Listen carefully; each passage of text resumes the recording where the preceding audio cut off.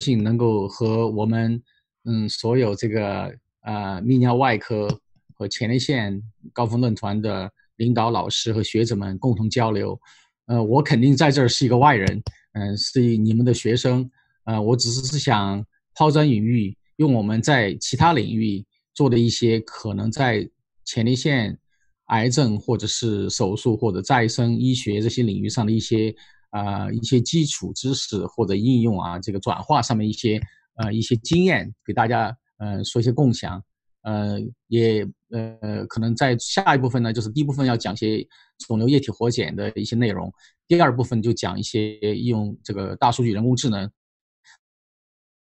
呃，去解决这个呃，就是 healthcare delivery 啊这些诊断上面的一些呃呃一些课题吧。然后这里面也有和林千新院长合作的，最近合作新冠病毒的一些呃经验。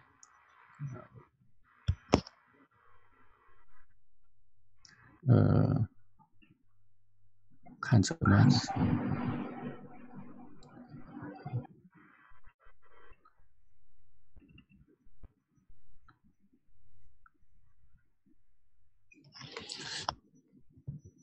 呃，我先讲一下，就是我们在肿瘤液体活检做的一些作用。我们主要是用的甲基化，呃，这些在这个啊呃肿瘤。液体活检的一些或者肿瘤检测的一些应用，嗯，因为大家都知道这个肿瘤，刚才呃各位呃有几位专家已经提到了，就说在呃肿瘤诊断领域和这个预测领域的话，一个重要的一个手段就是用呃遗传和这个分子生物学的方法进行诊断，呃呃这个用 DNA 甲基化进行这个诊断和预测的话，是一个比较新兴的领域，呃。我们在几年前吧，就是呃跟呃何小科主任，这个西京大学的徐瑞华院长，还有 Michael Karen，呃一块儿就是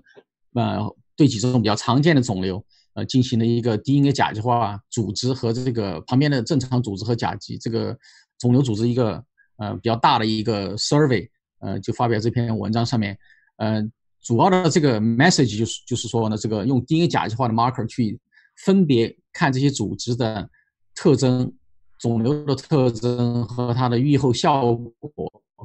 它的这个准确性非常高。嗯，当然这个已经被这个很多这个 TCGA 啊，好多这个其他的这个 European 的这个 Cancer Consortium 这些都已经证验证认证实了。呃，它可以进行溯源，能够把。这个比如说，呃，举个例子吧，就是现在这个 prostate cancer 有时候会去泵，会去脑子或者其他的组织地地方。比如他如果是肠癌去到这个，呃，肺里面，到底它是原发性的肺癌呢，还是说是肠癌？因为很多这个 marker 都是一样的，用甲基化了就可以非常这个，呃，好的把它这些溯源把它做好，而且它能够对不同的生成曲线也做得很好。呃，这个就是我们第一份工作。当然了，就是说，我们做了这个工作以后，就发现，尽管这个它的准确性比较高，但是呢，由于活检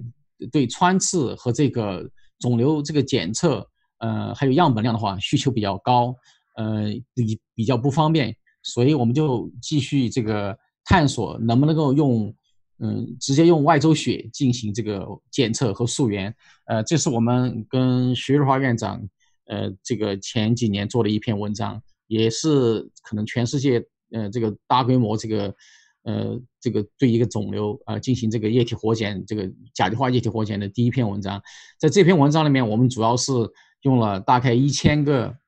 不同这个 stage 的肝癌和这个 control，然后用机器学习和大数据，再加上测序的话，做了一个这个 panel，这个 panel 能够非常好的能够啊做这个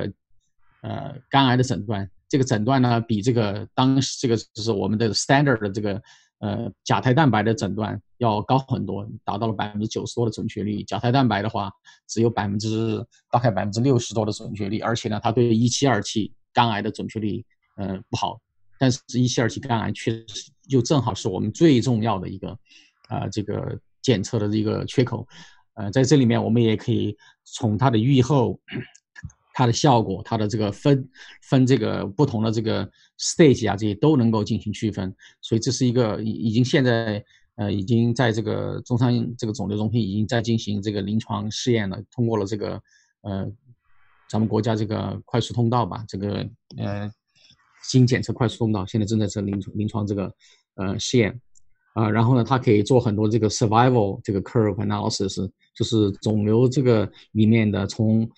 initial 检测不同的这个分分级，呃，早期检测以及到后面预后和这个治疗的这个监测的话。都啊有一些很好的效果和这个作用，啊呃我下面就是是这个呃因为时间关系我就稍微讲一下，给大家介绍一下一些技术。下面我就想呃把这个呃人工智能和大数据呃这个方面给大家呃稍微介绍一下。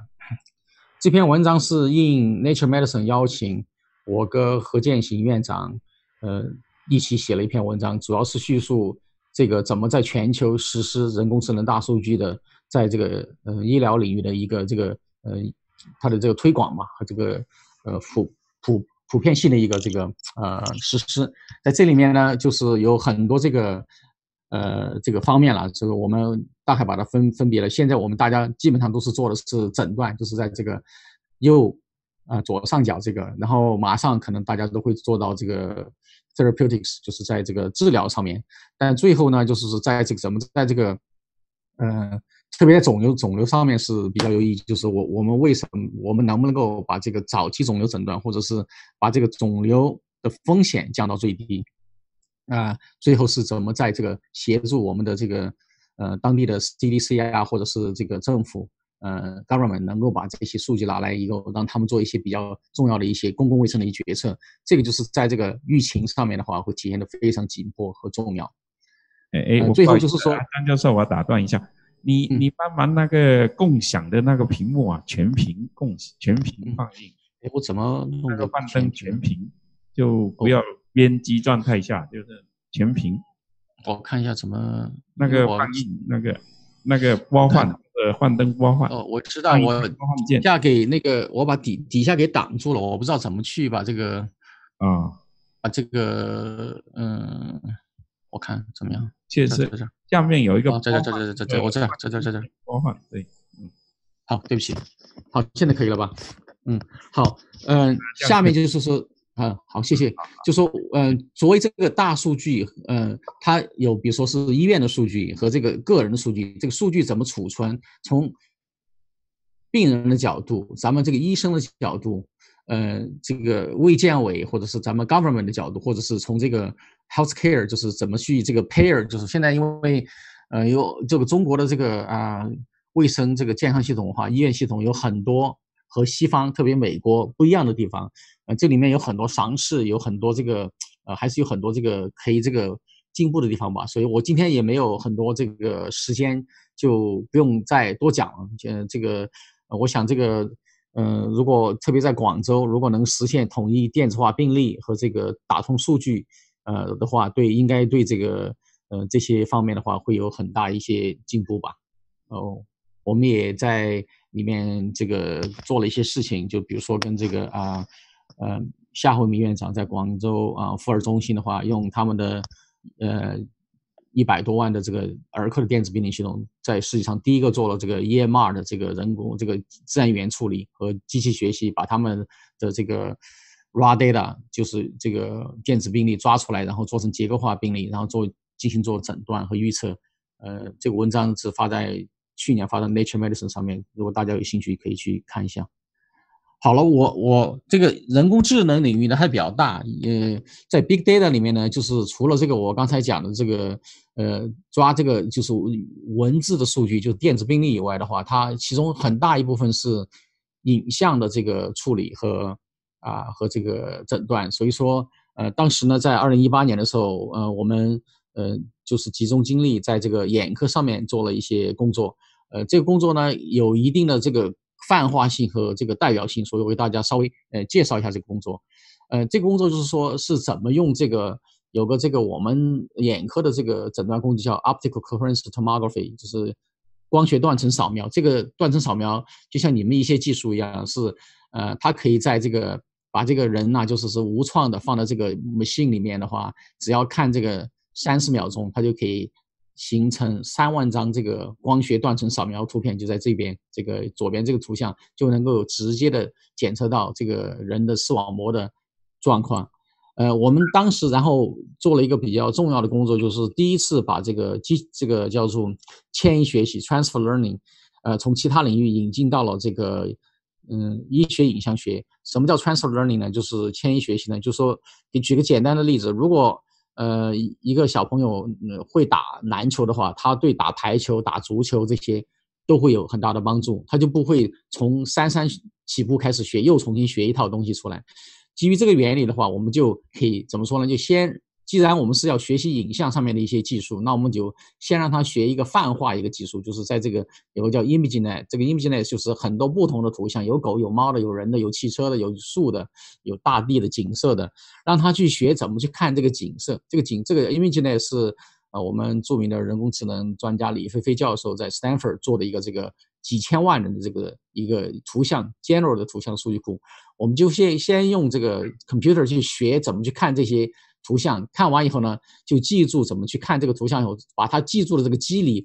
平行的转移过来，就让他去学怎么去看眼科的图像。实际上，他如果能看眼科的图像，他举一反三，这个也是一个举一反三，他也以同样的记忆可以看，比如说前列腺的这个一些这个 CT 啊，或者是 MR 的图像，或者其他一些。呃，endoscopy 的图像，好了，这个就是嗯迁移学的原迁移学习的原理，从这个地方做成一个神经网络架构，然后再把它迁移学习到另外一个任务上面，在这个学习，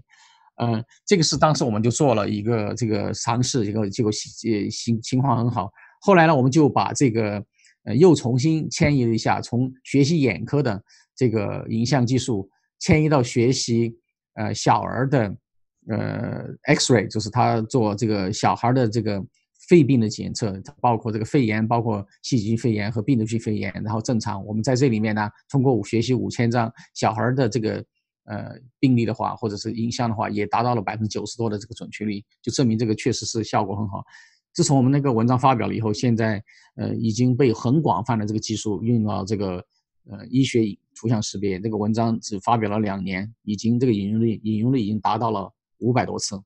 下面我就想，呃，给大家这个，呃，用最后几分钟介绍一下我们最近在新冠病毒呃研究里面这个做的一些工作。这工作就是刚才我提到的，是紧密的和林千新院长和中山我们这种中嗯中山二院一起这个紧密合作，也得到了呃广东省政府和广州市政府，呃这个啊咱们的这个广东省再生医学实验室呃的一些大力的支持。好，这个里面就是也给大家举个例子，就是说做这个呃，一这个 computer 这个 tomography 的话，它这个数量数量很大，就是特别是一张扫下来以后啊，有两三百张，呃，这个 slices，然后里面的话，如果是咱们影像科这个医生去看的话，特别是一种新的一种 emerging disease 的话，它还是确确确实需要很多比较多的时间，十分钟到二十分钟，所以当时在武汉抗疫的时候，急需有一种。很好的 AI 技术能够把这个 lesion 勾画出来，分别出来，然后这些 volume 这个能够算出来，然后直接能够给他一个评判，而且这个评判是说它是新冠病毒肺炎，还是说是其他的病毒性肺炎，还是说是其他的细菌性肺炎，或者是 normal 把这个事情做出来。所以就是我们当时就嗯一块儿做了啊差不多五千个病人，呃五五十万张照片。用这个大数据去呃训练了这个我们的这个 AI system，然后能够达到很高的标准，基本上就是说比呃我们的 senior radiologist 的呃差不多的这个学习的这个呃标准。但是呢，它能够在二十秒钟之内就把这个图像给识别好了，做好了报告，而且呢，它能够在这边能够把我们的 junior radiologist，就是在这个只有这个五年到十年这个呃 practicing 这个 experience 这些呃我们的。年轻年纪轻的医生的话，能够迅速提高到 senior radiologist 那个水平，所以这个对呃，就是实施这个技术诊断话，特别在武汉前线的话，呃，用的这个用用的比较好，在金银潭医院、武汉大学人民医院都呃有了这个实施和应用，包括其他的我们在广州的几个大的医院也有实施。好，然后我们还在其他的一些不是就说是新冠肺炎不是很高的一些这个地方，比如说安徽、广州啊。呃，成都啊也进行了这个安装实施，在华西医院，包括嗯安徽省这个安徽大学第一人民医院都能够达到很好的效果。最后，它还有一个作用是它能够预测，就是是呃哪些病人就是在就是比如说 CT 进来以后照一张相以后，他这个进行到呃 ICU 或者是。上呼吸机，它的几率是多少？有多少时间？所以就可以跟我们的给我们的这个医生给到这个很好的这一个一个提前量，然后让他们去这个能够分配资源，把这些病人尽量的不要这个推到 ICU 里面去，能够确保他们的生命和这个留下最少的这个 complications。呃，这个而且可以，这个也是就是能够检测这个药物反应预测啊，它的这个效果。嗯，咱们这个系统自从这个。呃，出来了以后呢，由这个中国科学院国家生物信息中心推广，作为中国我们中国抗疫的高端产品，已经推到了全世界。呃，然后到现在为止的话，我们在这个由中科院国家生物信息中心，呃，公布了数据和这个 code 以后啊，呃，全世界迄今为止已经有了三百到四百万的这个下载量，而且在很多国家，包括呃，除了我们国家的十十几个大的医院以外，呃，在美国，嗯，呃，这个伊拉克、伊朗，嗯，朝鲜、日本，呃，印度，呃，厄瓜多尔啊，好多这个地方都进行了实施，啊，效果也也挺好的。啊，在美国和这个 Stanford 啊，这个其他几个 University Buffalo 啊，Baylor 这几个 Utah 这个大学也有很好的这个合作。所以这个，我希望这个工具能够被大家这个广泛的应用。这工具不仅呢，就是说除了这个新冠病毒以外，而且应该对所有的肺炎和其他的肺呃部这个肿瘤啊，特别是一些包块或者后面的这个一些呃，包括一些其他的这些结构的这个诊断和这个预测也会有很好的效果。嗯，所以我这个大概就是想这些，总结一下，就说嗯，DNA 甲基化和液体活检技术加上人工智能大数据的话，也可以在前列腺以及其他。泌尿外科的肿瘤和这个疾病上有很好的诊断和预测前景。呃，我们现在也有一些新的研究也在进行。呃，以后呢，希望有机会给大家继续分享。好了，再次感谢呃这个陈老师给我们这个机会，也感谢林天信院长的合作。谢谢大家。啊，谢谢张康教授。